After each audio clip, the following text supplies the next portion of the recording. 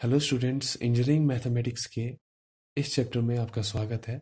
आज हम पढ़ेंगे the Laplace transform Laplace transform पढ़ने से पहले हम पहले देखेंगे ट्रांसफॉर्म क्या होता है, ठीक है? A mathematical device which converts one function into another is called transform ठीक है?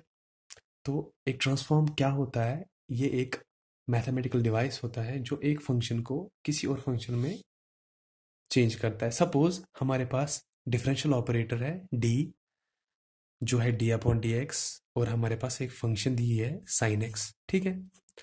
अब हम साइन एक्स को डिफरेंशियल ऑपरेटर लगाएँगे, और वो कॉस एक्स बन जाएगा। तो हमारे पास साइन एक्स जो है, एक फ़ंक्शन है, इसको हमने ट्रांसफॉर्म किया, ये दूसरी फ़ंक्शन बन गई। तो ट्रांसफॉर्म का मेन जो गोल होता है, वो होता है एक फ़ंक्शन को दूसरी फ़ंक्शन में कन्वर्ट करना। So that it becomes easy to solve ठीक है? सेम यही केस है लैपलास ट्रांसफॉर्म का। लैपलास ट्रांसफॉर्म भी एक फ़ंक्शन को दूसरे फ़ंक्शन में कन्वर्ट करता है। तो Laplace transform directly gives the solution of differential equation without finding the general solution ठीक है?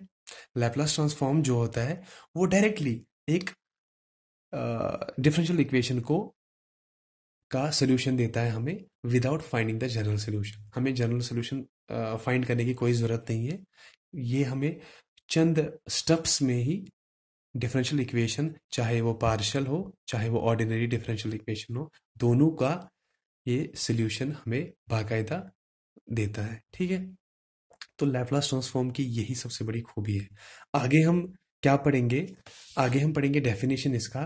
तो सपोज़ हमारे पास कोई फ़ंक्शन है एफ़ ऑफ़ टी ठीक है? एफ़ ऑफ़ टी का हमने लैपलास लगाया और फॉर्मूला जो जनरल फॉर्मूला है, उसके हिसाब से इसका value Laplace of F of T का वैल्यू क्या होना चाहिए? Zero to infinity E power minus S T F of T D T ठीक है? तो ज़ीरो टू इन्फिनिटी हमें ऐसे रखना है E power minus S T given होता है। एफ़ ऑफ़ टी जो है, वो हमारी फ़ंक्शन है। चाहे यहाँ पे साइन एक्स है, चाहे कॉस एक्स है, चाहे टी पावर एन है चाहे ई पावर एक्स है, कुछ भी हो, वो हमें यहाँ पे लिखना है, ठीक है? उसके बाद एक और फ़ंक्शन आएगी, जैसे मैंने कहा ट्रांसफॉर्म है तो उस फ़ंक्शन को हम बोलेंगे एफ़ ऑफ़ एस ठीक है?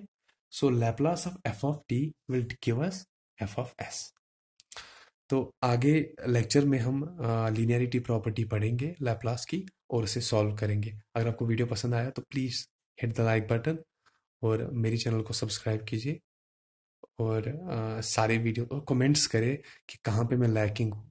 Thank you so much thank you